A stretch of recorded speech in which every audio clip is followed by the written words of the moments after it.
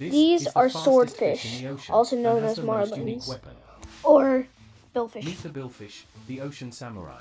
They're usually caught. Billfish are a group of predatory They are usually caught in the seas of Atlantic and bills, Pacific, which includes or marlin, Gulf of Mexico. and sailfish.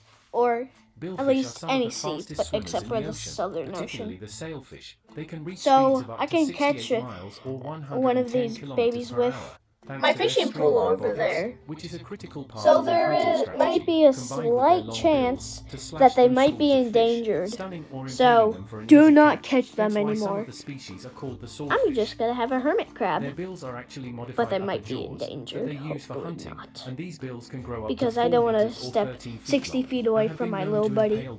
probably accidentally. Maybe. They are highly valued as game fish by sports fishermen, resulting Just in their population being under pressure due to overfishing.